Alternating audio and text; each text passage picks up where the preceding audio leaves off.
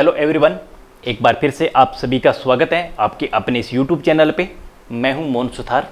तो दोस्तों, आज की इस वीडियो में हम डिस्कस करेंगे भी जो स्टूडेंट्स अकाउंट्स जॉब करना चाहते हैं, यानी कि अकाउंटिंग के फ़ील्ड में अपना करियर बनाना चाहते हैं तो उनके माइंड में एक ही बात चलती है, यार सबसे पहले हमें टेली सॉफ्टवेयर सीखना चाहिए।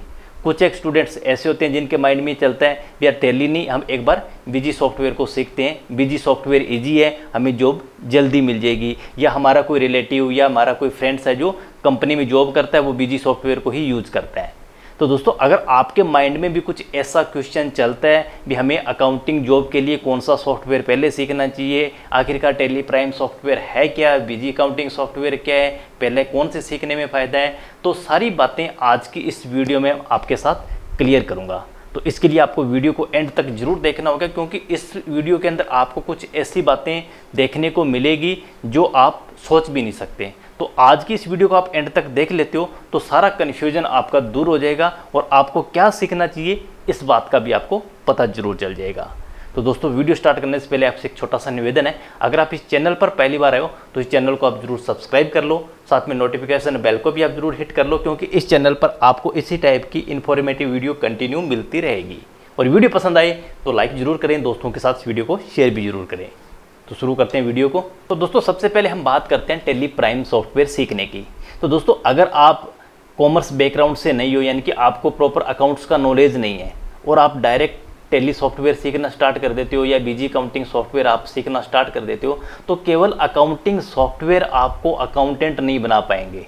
एक बात का तो ये आपको 100 परसेंट माइंड में रखना होगा भी अगर आपने बिना अकाउंट सीखे हुए, यानी कि बिना प्रैक्टिकल आपने किए हुए, अगर आप डायरेक्ट सॉफ्टवेयर को सीखना स्टार्ट कर दोगे तो आपको जॉब नहीं मिलेगी। क्योंकि टेली सॉफ्टवेयर सीखना अकाउंटेंट बनना नहीं है। तो ये सबसे बड़ा कन्फ्यूज़न हर एक स्टूडेंट के दिमाग में रहता है। अगर नहीं रहता है तो इंस्टीट्यूट वाले उसके दिमाग में ये ज़बरदस्ती बात डाल देते हैं भी आप टेली सॉफ्टवेयर सीख लो, आपको कंपनी में जॉब मिल जाएगी। लेकिन ऐसा रियल प्रैक्टिकल लाइफ में होता नहीं है। तो दोस्तों, आखिरकार टेली और बिज़ी सॉफ्टवेयर की ज़रूरत क्यों पड़ती है? तो फिर लोग कहेंगे भी अकाउंट्स की जॉब के लिए टेली सॉफ्टवेयर सबसे ज़्यादा यूज़ होता है। बिल्कुल होता है, बिज़ी सॉफ्टवेयर होता है। इसके अलावा बहुत सारे अकाउंटिंग सॉफ्टवेयर अवेलेबल है मार्केट के अंदर, जहाँ पर अकाउंट्स का वर्क है जो किया जाता है।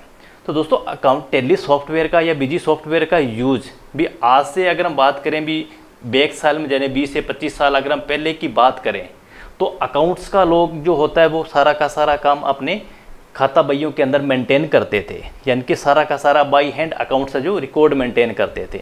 लेकिन अब जैसे जैसे टेक्नोलॉजी बढ़ती गई टाइम बढ़ता गया बिज़नेस का क्राइटेरिया बढ़ता गया टैक्सेशन के और अकाउंटिंग के जो कंप्लाइंस हैं, वो बढ़ते गए तो वो सारी बातें मैनुअल थोड़ा सा पॉसिबल होना संभव नहीं हो पाया।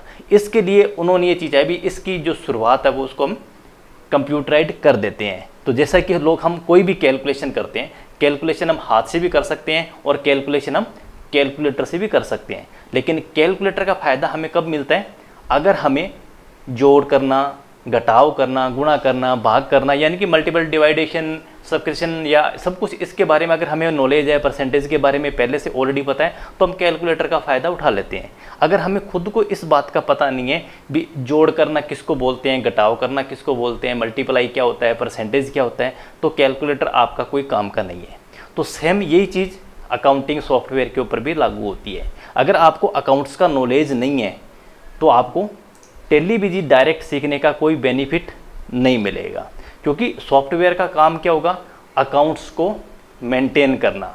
अगर आपने अकाउंटिंग प्रॉपर मेंटेन करनी अकाउंटिंग का मतलब ये नहीं है भी आपको सारा ए टू जेड काम इसके अंदर करना पड़ेगा। अकाउंट्स मेंटेन करने का मतलब होता है कोई भी अकाउंटिंग सॉफ्टवेयर ले लो, इसमें आपको जो मेन काम करना होता है, वो होता है ये का। यानी कि वाउचर्स एंट्री करना। अब वाउचर एंट्री होता क्या है? एंटर प्रेस करेंगे तो आप एक साइड के अंदर लिस्ट देख सकते हो। हर सॉफ्टवेयर के अंदर इस टाइप की शॉर्टकट की होती है। थोड़ा बहुत लोकेशन का डिफरेंस हो सकता है। जैसे कि आपके सामने ये टेली सॉफ्टवेयर ओपन है। अगर हम बात करें बीजी सॉफ्टवेयर की तो बीजी सॉफ्टवेयर के अंदर ये जो ऑप्शन है, ये कुछ इस तरीके के टेब वाइज दिए होते हैं। जैसा कि हम ट्रांजेक्शन पर चलते हैं, और ट्रांजेक्शन पर अगर हम जाके देखेंगे तो ये सारे के सारे फीचर आपको यहाँ मिल जाएँगे। जैसा कि sale purchase sale return purchase return payment receipt journal contra debit note credit note यानी कि हमें केवल सॉफ्टवेयर के अंदर अकाउंट्स वाउचर की ही एंट्री करनी होती है। अब उसके बाद में जो भी हमारी रिपोर्टिंग तैयार होती है, यानी कि किस पार्टी का क्या बैलेंस रह गया वो सॉफ्टवेयर हमें ऑटोमेटिक बताएगा।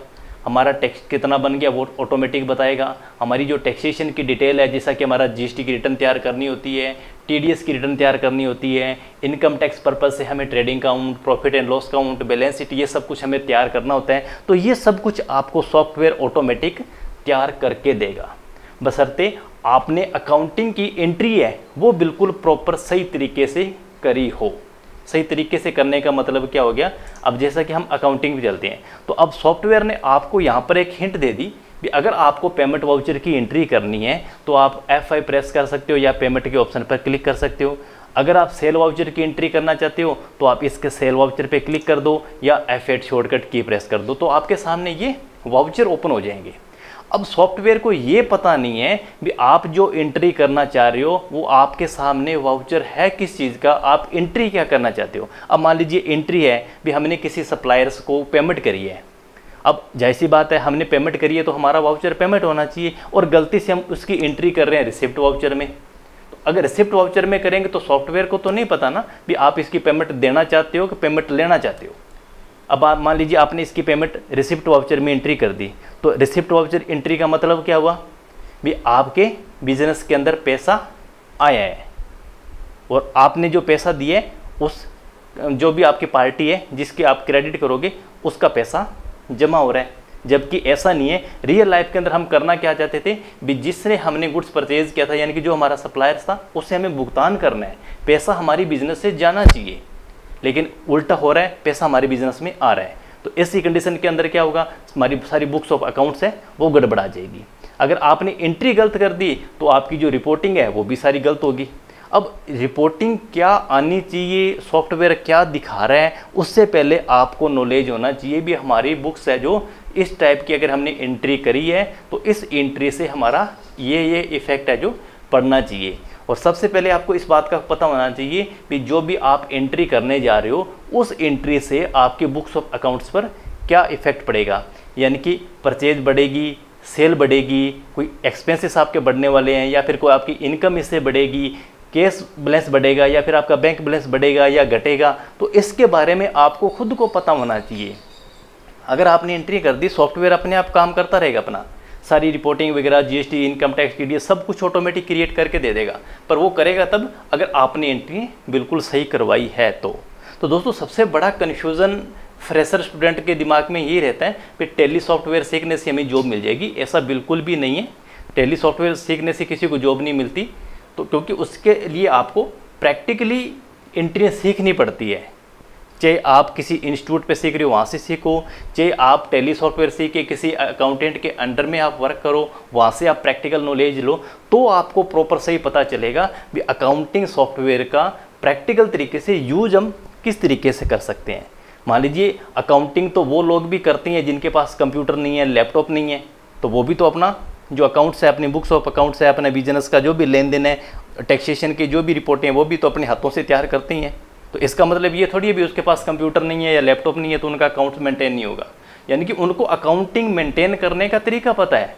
तो वो सारी बातें हाथ से लिख लेंगे और हाथ से सारी रिपोर्टें एक्यूरेट तैयार करेंगे। और वही रिपोर्ट आपको कंप्यूटर तैयार करके देगा। बस कंप्यूटर के अंदर आपको केवल एंट्रियाँ ही करनी होती है। आपको ऐसा नहीं है, कोई आपको बैलेंस शीट सॉफ्टवेयर के अंदर बनानी पड़ती है।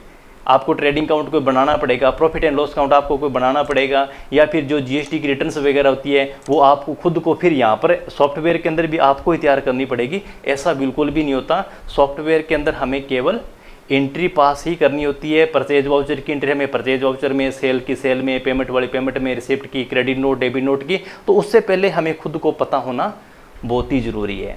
तो दोस्तों, सारी बातें अगर आप इन चीज़ों को समझोगे नहीं ना, अभी अकाउंटिंग सॉफ्टवेयर का मतलब क्या होता है? तब तक हम आगे सीख नहीं पाएँगे, आगे हम प्रोग्रेस नहीं कर पाएँगे। तो सॉफ्टवेयर का एक्चुअल मतलब यही होता है कि जो गवर्नमेंट की तरफ़ से इतने सारे कंप्लाइंस है, इतने सारी जो टैक्सेशन की अकाउंटिंग से रिलेटेड इतने सारे रूल्स हैं, इतने ज़्यादा आ चुके हैं ना भी अब मैनुअल काम करना पॉसिबल नहीं है। इसीलिए अकाउंटिंग सॉफ्टवेयर का सहारा लिया जाता है। और ये नहीं है भी आप सीधा अकाउंटिंग सॉफ्टवेयर सीखना ही स्टार्ट कर दो और आपको अकाउंट्स का बिल्कुल भी नॉलेज नहीं है। तो इससे क्या होगा भी आपको कंप्यूटर का नॉलेज तो हो जाएगा बट प्रॉपर अकाउंट्स का नॉलेज आपको नहीं हो पाएगा। आपको खुद को पहले अकाउंट्स को समझना पड़ेगा अकाउंट्स के रूल को समझना पड़ेगा। यानी कि डेबिट क्रेडिट के रूल को समझना पड़ेगा भी हम डेबिट किसको करना होता है क्रेडिट किसको करना होता है, क्योंकि सॉफ्टवेयर आपके सामने ओपन है। अब उसके बाद में इस सॉफ्टवेयर को कैसे यूज़ करना है, वो तरीका आपको पहले से पता होना चाहिए। डिस्प्ले पे जाओगे, रिपोर्टिंग आपको सारी एक्यूरेट ओके मिलेगी। जीएसटी पे जाओगे जीएसटी रिटर्न्स पे जाओगे तो टोटल रिटर्न्स आपके सामने आ जाती है। जीएसटी आर वन अब जैसे जीएसटी आर वन आपको तैयार करनी है तो जीएसटी आर वन का पता आपको पहले होना चाहिए। भी जीएसटी आर वन के अंदर हमारी बुक्स की क्या क्या रिपोर्ट्स है जो जाती है। सेल की रिपोर्ट बी टू बी क्या है? सेल की रिपोर्ट बी टू सी क्या है एग्ज़ाम सेल क्या है क्रेडिट नोट डेबिट नोट क्या है H S N Y summary क्या है डॉक्यूमेंट समरी क्या है तो इसके बारे में हमें अगर खुद को नॉलेज नहीं है ना तो सॉफ्टवेयर के अंदर हो सकता है आपने कोई वाउचर की एंट्री गलत कर दी हो तो उसकी वजह से आपकी सारी की सारी रिपोर्टिंग है जो गलत हो सकती है। तो दोस्तों आई होप कि इस वीडियो से आपको ज़रूर कुछ सीखने को मिला है, क्योंकि अब आपको पता चल गया होगा भी डायरेक्ट टेली सॉफ्टवेयर और बिज़ी सॉफ्टवेयर सीखने का कोई फ़ायदा नहीं है, और टेली सॉफ्टवेयर और बिज़ी सॉफ्टवेयर एक तरीके के अकाउंटिंग सॉफ्टवेयर हैं। इसके अलावा बहुत सारे अकाउंटिंग सॉफ्टवेयर हैं। आजकल तो बहुत सारे एंड्रॉयड ऐप के ऊपर भी आप अगर आप प्ले स्टोर पर जाके अकाउंटिंग ऐप के बारे में सर्च करोगे तो बहुत सारे ऐप आपके सामने आ जाएँगे। लेकिन सभी की कहानी एक जैसी ही होती है। सब अलग अलग कंपनी है। हर कंपनी ने अपना अपना एक अलग ऐप बनाया होता है। तो जैसी बात है, उसके अंदर काम सभी का एक ही तरीके से होता है। हमें वाउचर की एंट्रियाँ ही पास करनी होती है। हाँ बस थोड़ा बहुत सॉफ्टवेयर का नाम चेंज है तो हो सकता है उसका थोड़ा सा डिज़ाइन चेंज हो सकता है, उसका कोई शॉर्टकट की चेंज हो सकती है, या फिर उनका थोड़ा बहुत डाटा का लोकेशन चेंज हो सकता है। जैसा कि आप देख रहे हो, टेली सॉफ्टवेयर में आपको कुछ इस तरीके से शो डाटा दिखाई देता है, और बिज़ी सॉफ्टवेयर के अंदर ये सारी की सारी जो हेडिंग है, वो सारी एज है आपको टैब्स के रूप में मिलेगी। और वो टैब पे आप पे क्लिक करोगे तो आपको यहाँ पे सारी रिपोर्ट है जो देखने को मिल जाएगी। जैसे कि ट्रांजेक्शन पर हम जाएँगे तो ट्रांजेक्शन पर सारी रिपोर्ट्स आ जाती है। टेली सॉफ्टवेयर पे आप वाउचर पे जाओगे तो वाउचर पे जाने के बाद आपको यहाँ से पता चलती है कि कौन से वाउचर की शॉर्टकट कमांड क्या होती है। तो वीडियो दोस्तों पसंद आई हो तो ज़रूर लाइक करें, दोस्तों के साथ इसको शेयर भी ज़रूर करते मिलते हैं नेक्स्ट वीडियो में एक और नए इंटरेस्टिंग टॉपिक के साथ।